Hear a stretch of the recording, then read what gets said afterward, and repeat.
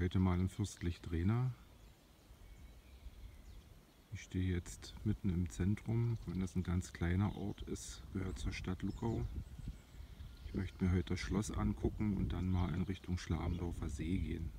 Fürstlich-Drehna ist ein Ort mit sehr wenigen Einwohnern, wenige hundert, hat aber einen wirklich historischen Ortskern.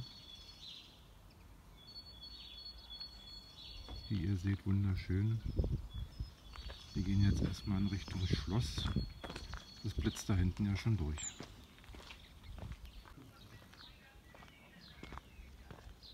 Halb drei ist es zwar noch nicht, wie es die Uhr anzeigt, aber alles wunderschön saniert. Hier jetzt erstmal ein paar Eindrücke vom Gelände, vom Schlosshof.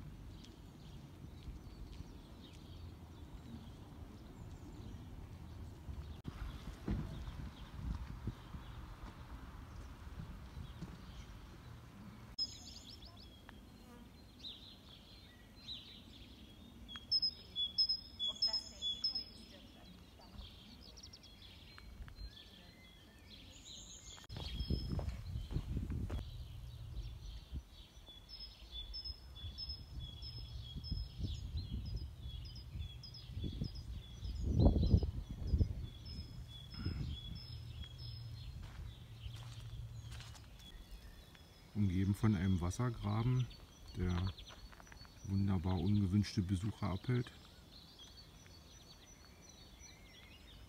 Und es schließt sich ein Schlosspark an, den ich mir jetzt mal näher angucken werde.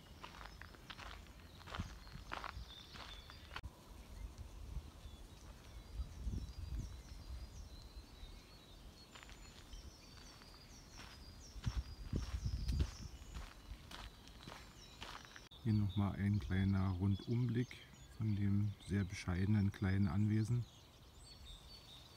Das ist jetzt der Schlossteich. Ihr seht, ringsrum sind Wege angelegt. Ich habe noch Glück, dass ähm, heute Lockdown-Sonntag ist. Es sind wenige Leute hier, aber es sind einige da. Daher kann ich noch ein bisschen filmen.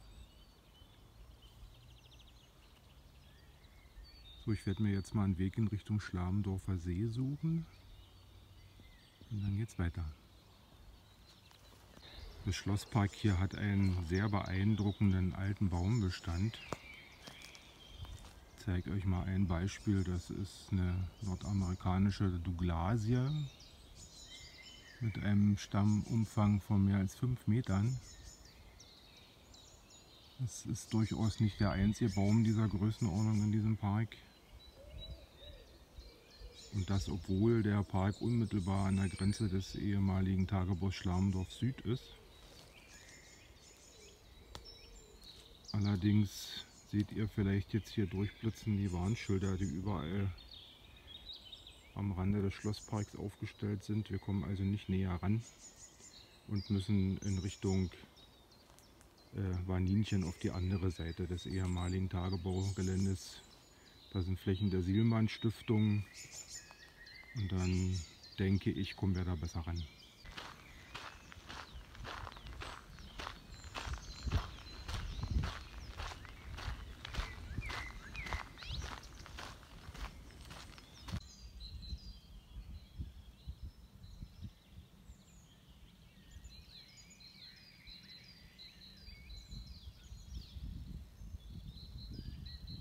Bin jetzt auf der anderen Seite angekommen des ehemaligen Tagebaus. Da hinten seht ihr die Häuser vom Beestau.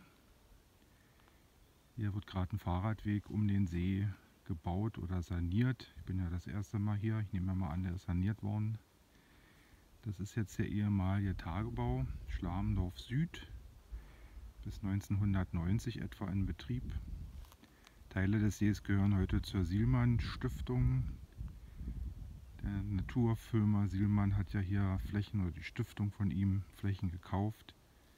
Hier wird die Natur sich selbst überlassen im Sinne des Wortes, kann sich ihr ehemaliges Gebiet zurückerobern. Man sieht auch noch genau, dass das ein ehemaliges Tagebaugebiet ist.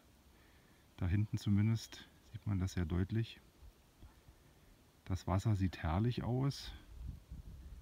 Allerdings ist das auch noch alles Sperrgebiet.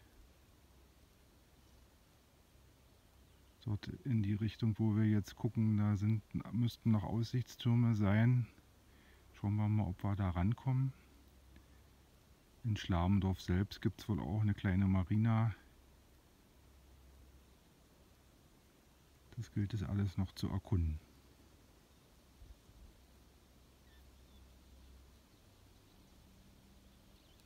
Ich bin jetzt im Heinz-Sielmann Natur- und Erlebniszentrum angekommen in Waninchen und schaue mir jetzt hier erstmal das Gelände an.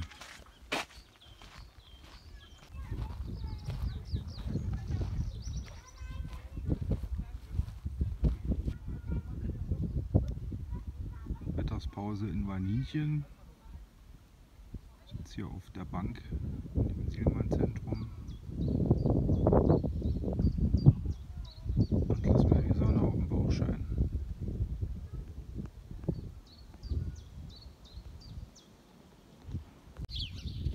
Auf dem Weg nach Hause Stopp in Schlamendorf an der Marina.